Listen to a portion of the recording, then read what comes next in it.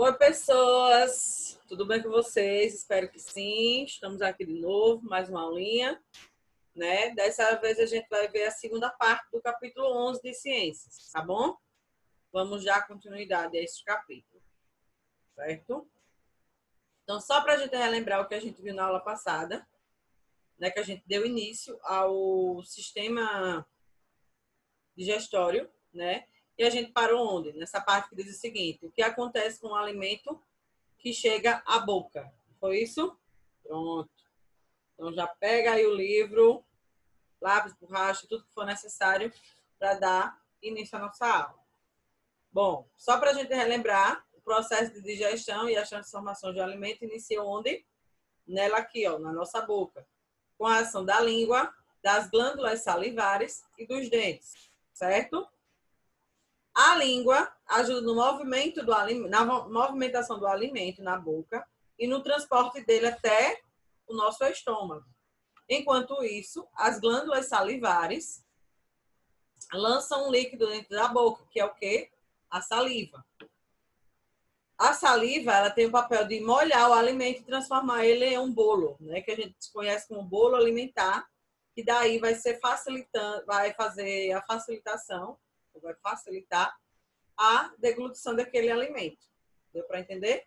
Então, o nosso processo de digestão começa pela boca, ok?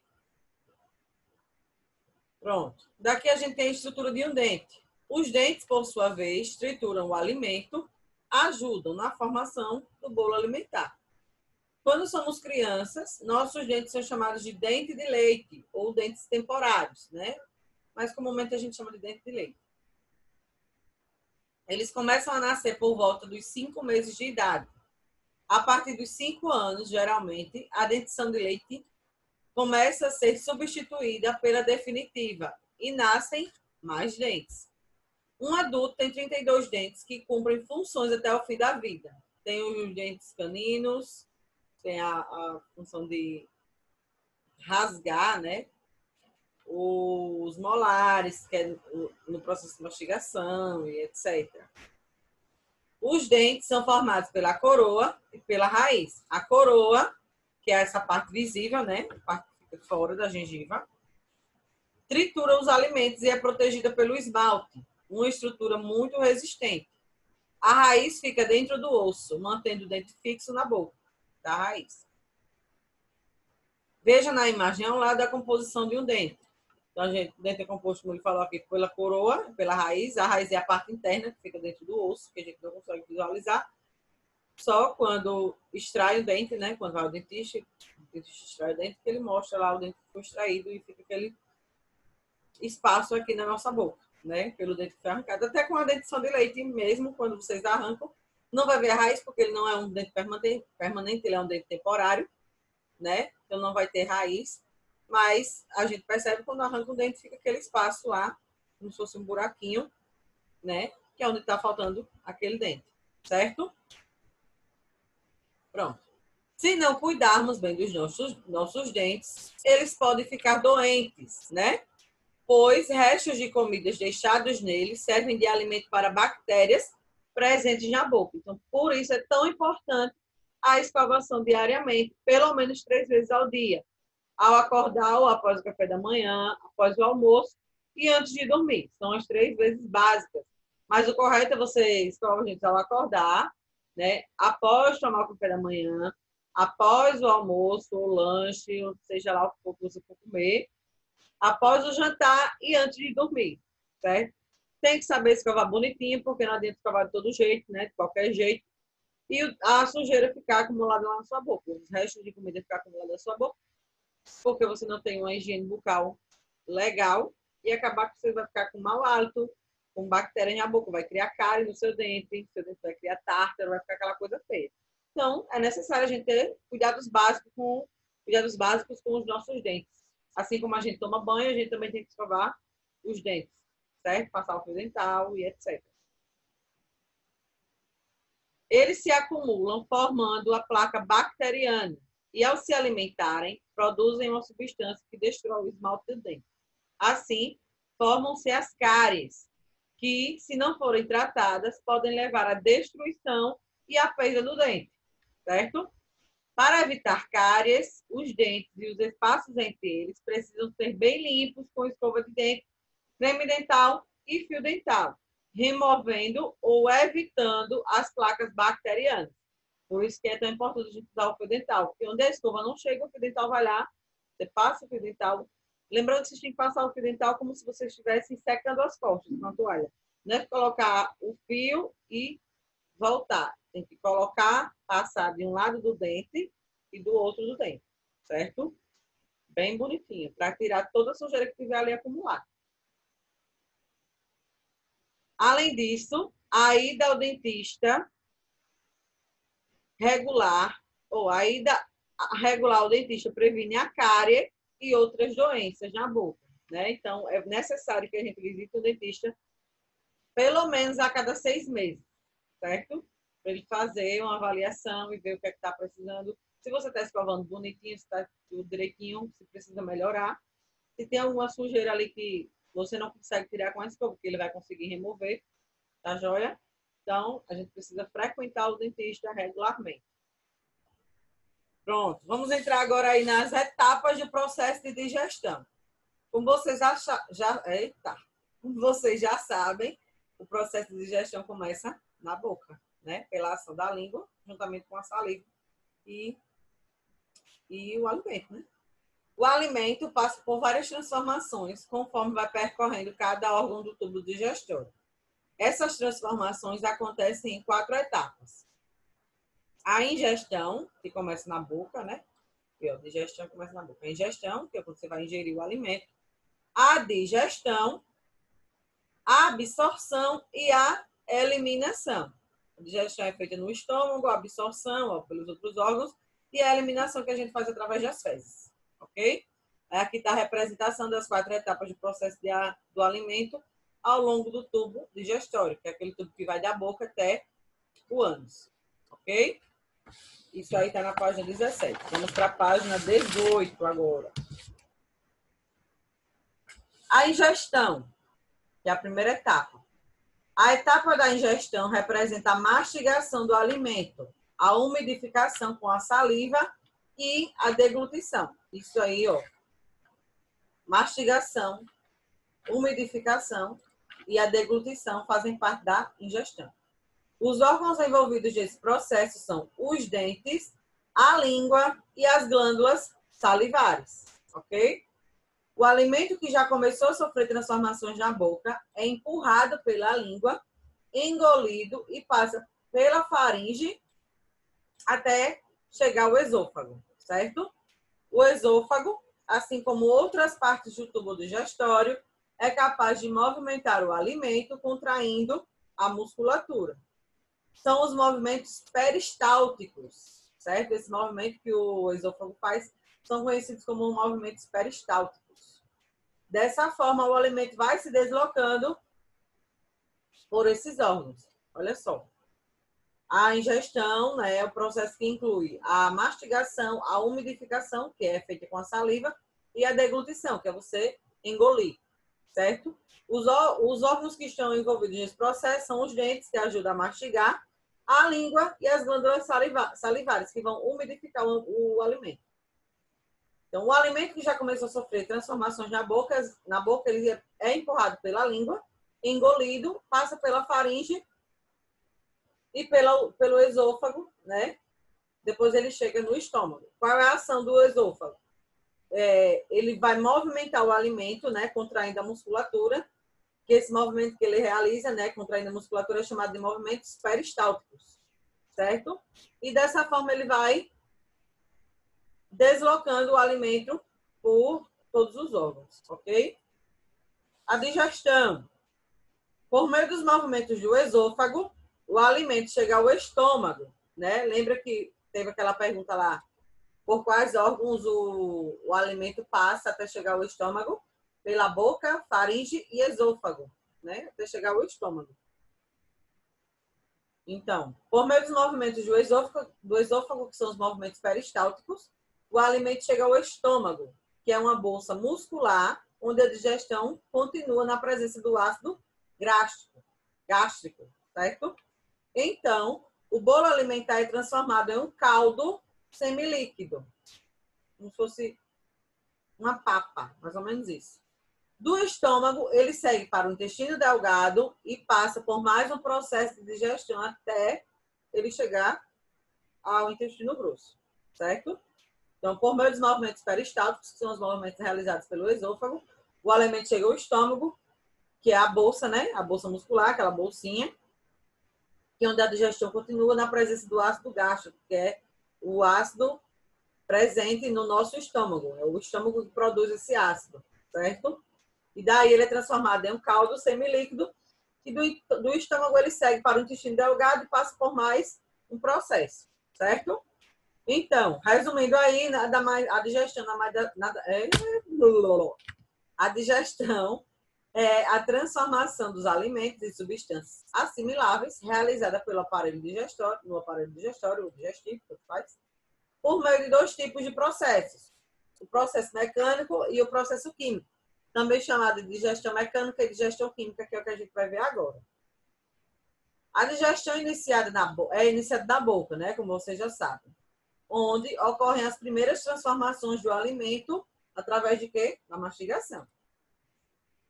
Estas são chamadas de transformações mecânicas ou digestão mecânica. Nesse processo, o alimento é triturado em pequenos pedaços.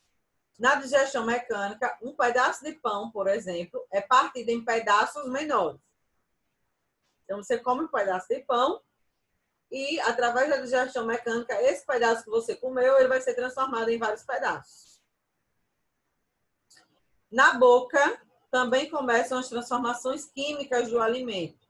Uma transformação química acontece quando os materiais são modificados e fazem surgir novas substâncias. A digestão química ocorre quando as substâncias digestivas atuam sobre os pedaços estruturados do pão, por exemplo. Os processos de digestão química ocorrem ao longo do tubo digestório. O alimento vai sendo transformado em novas substâncias e novas substâncias vão surgindo, certo? Então, a digestão mecânica é onde ela pega aquele alimento e transforma em pedaços menores. Já a digestão química ela, é, ela acontece através das substâncias presentes ali naqueles órgãos, né? Transformações químicas do alimento, através do ácido é, gástrico, você vai falar graxo, gástrico e de todos os elementos que compõem, certo? Deu para entender?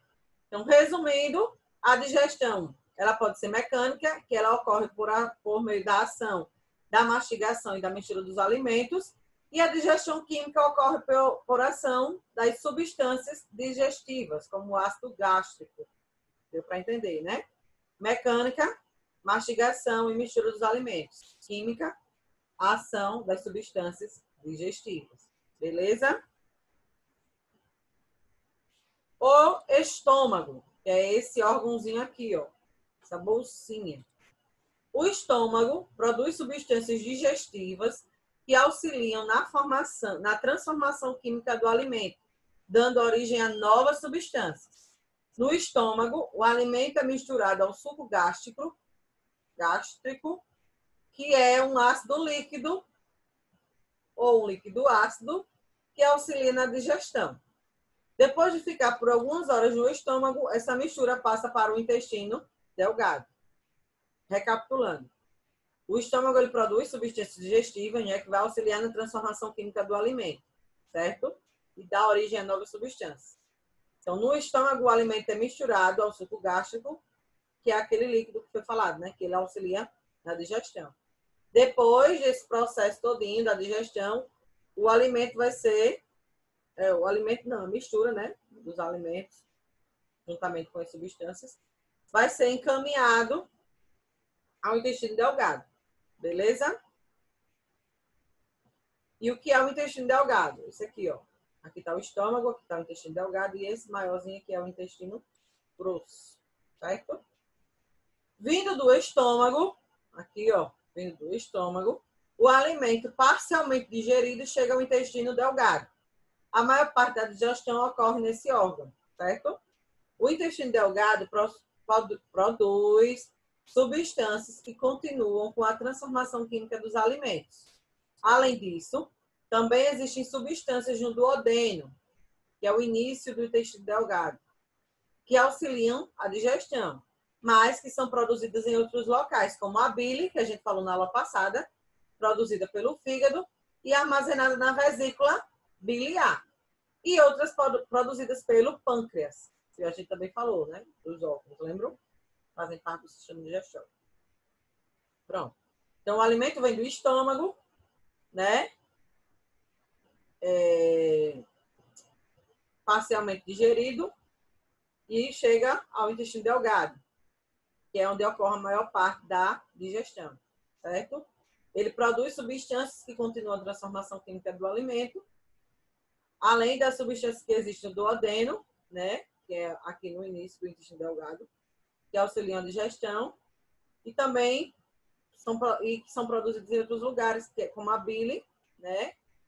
Que é produzida pelo fígado, que é aquele líquido, e é armazenado na vesícula biliar. E outras que são produzidas também pelo pâncreas. Ok? Beleza até aí? Pronto. Vamos ver o intestino delgado. O intestino delgado também é o órgão onde acontece a captação dos nutrientes, que são transportados para outras partes do corpo humano através dos vasos sanguíneos. Esse processo é chamado de absorção e acontece ao longo de todo o intestino delgado. Deixa eu botar só a imagem para vocês verem. O intestino delgado é esse aqui, ó. Esse maior por fora tá certo? Esse, um, essas, estruturas, essas estruturas menores é o intestino delgado, o intestino grosso, tô confundindo. Continuando aqui no intestino delgado. O intestino delgado também é o órgão onde acontece a captação dos nutrientes, que são transportados para outras partes do corpo, através dos vasos sanguíneos. Esse processo é chamado de absorção e acontece ao longo de todo o intestino delgado. Para aumentar a absorção dos nutrientes, esse órgão possui dobras em suas paredes internas. Aí tá aqui, ó, o fígado, a vesícula biliar, lembrando que o fígado produz a bile, né? Que é armazenada aqui, ó, na vesícula biliar. O duodeno, aqui, ó, que é o início do intestino delgado, e o pâncreas, tá aqui também. E aqui é o canal por onde as substâncias do pâncreas, da vesícula da vesícula biliar passam para o duodeno, certo? Aí tá aqui a localização das glândulas anexas, fígado, vesícula biliar e pâncreas. E, e dos ductos, canais que lançam substâncias do intestino delgado. Deu para entender até aí? Então, lembrando, além de fazer a maior parte da digestão, o intestino delgado também é onde no intestino delgado também é onde acontece a captação dos nutrientes que são transportados para as outras partes do corpo, certo? Através dos vasos sanguíneos, da nossa circulação sanguínea, certo? É chamado de absorção e acontece ao longo de todo o intestino delgado. Então, para aumentar a absorção dos nutrientes, esse órgão possui dobras em suas paredes internas, certo? E aqui nós temos as glândulas anexas. São o fígado, a vesícula biliar, o duodeno e o pâncreas. Deu para entender? Pronto. Vai, tem atividade na página 19, que é agora com você, onde vocês vão enumerar. Ó. Analise os, trechos, os trechos a seguir que falam sobre as etapas do processo de digestão e numere-os de acordo com a ordem que acontece no sistema digestório. Vocês vão enumerar de 1 a 4 certo? De acordo com qual inicia e qual termina, né? Primeiro, segundo, terceiro, quarto, certo? Página 20, 21 e 22, vocês têm o Investigue. É uma coisa bem simples que vocês irão fazer. Como ocorre a transformação das gorduras pela ação da bile? Para compreender, você vai fazer um experimento. Você vai usar coisas básicas que vocês têm em casa. Qual é o material? Um copo transparente, pode ser um copo de vidro água, óleo de cozinha, colher de sopa, relógio, colher de café e detergente. Certo? Muito simples. Só seguir o passo a passo aí, ó. Ele vai fazer uma representação. Na 22 também. E responder a atividade da página 22, a questão 8, no caso. Certo? fazem aí a experiência. Resistam, se vocês quiserem gravar um vídeo, será excelente. Se quiser tirar foto também. Mas o interessante é que vocês façam, aprendam e respondam o questionamento, tá bom?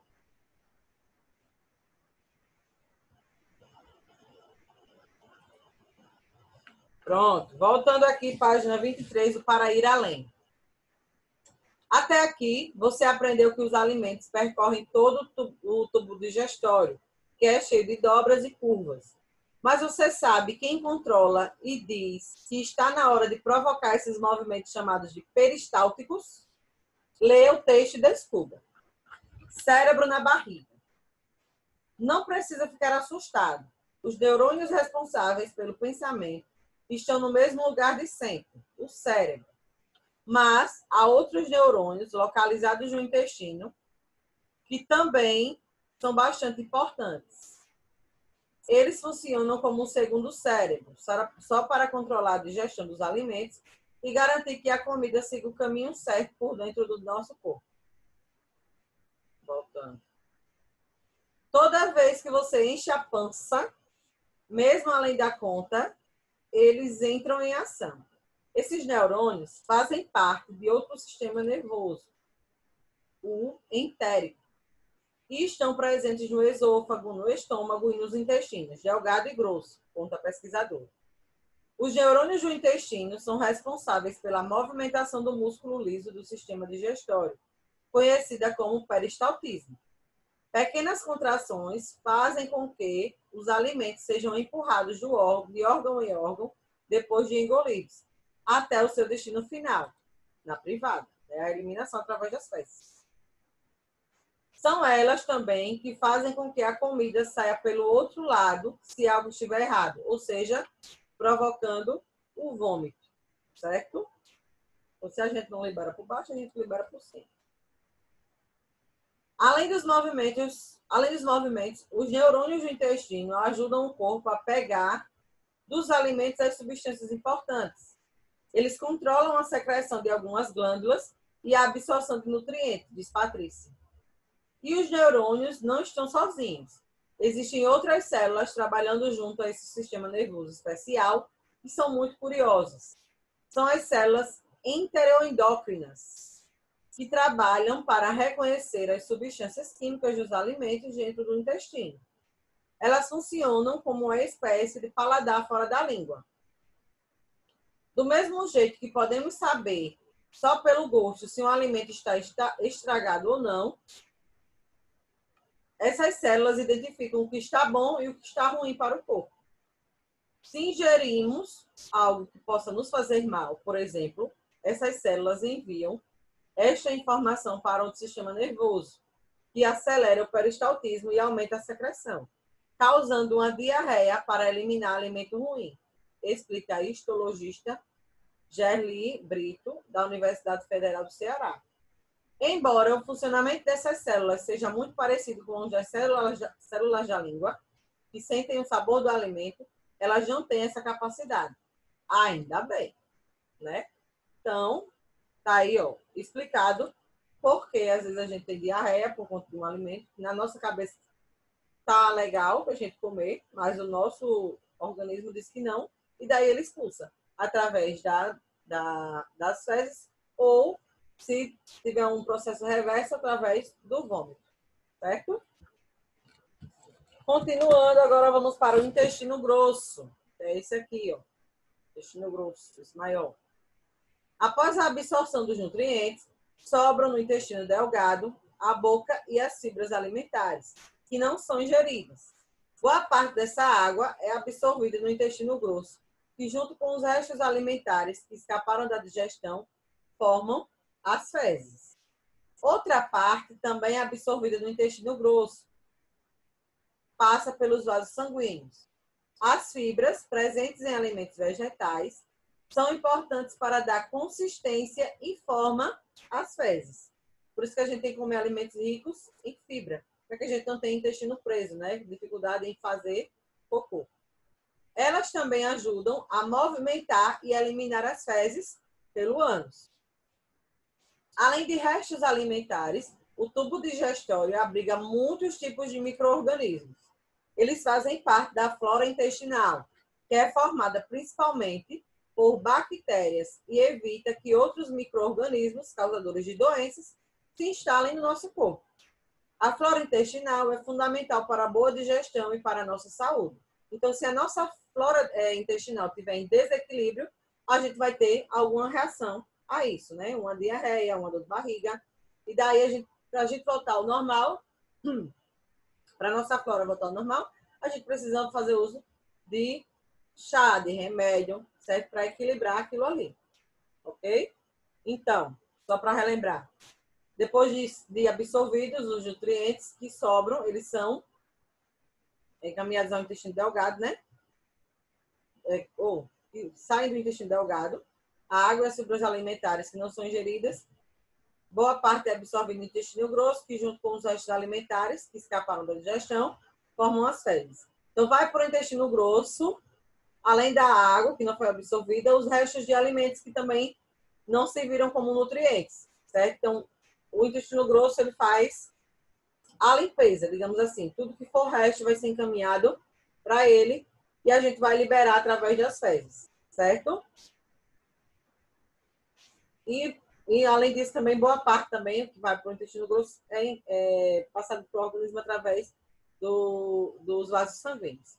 As fibras presentes em alimentos vegetais são importantes para ajudar, ajudar na consistência e na forma das fezes, certo? Por isso que a gente tem que comer alimentos em fibra, aveia, banana, esses alimentos assim que são legais para ajudar nesse processo de digestão, para que a gente não fique com o intestino preso, com a barriga inchada, né? Com a barriga inchada, com gases, certo? E que o nosso, o nosso cocô tenha uma consistência legal, ok? Pronto. Daí vocês darão uma pausa e realizarão as atividades da página 24 e 25, tá bem simples. Ele pergunta sobre a digestão química, né? Onde ela tem início, onde ela termina, é, sobre a digestão, o que acontece com o alimento quando ele chega ao intestino delgado e quando ele chega ao intestino grosso, certo? É, sobre a ingestão de alimentos ricos em fibras e as funções da digestão, ok? Façam, façam aí a atividade e a gente vai fazer a correção no mito, tá bom? Da página 19 até a 22, eu quero que vocês falem sobre. A gente quer que vocês falem sobre a experiência que vocês vão fazer. E a 24 e 25. Tá bom, queridos? Terminamos por aqui. Espero que tenha ficado tudo esclarecido sobre o, o capítulo 11, sobre o sistema digestório, suas funções e seus órgãos. Certo? Caso surja alguma dúvida, fala com a gente que a gente tenta sanar essas dúvidas. Tá bom? É isso. Até a próxima aula. Fiquem com Deus. Um beijo da tia. Tchau, tchau.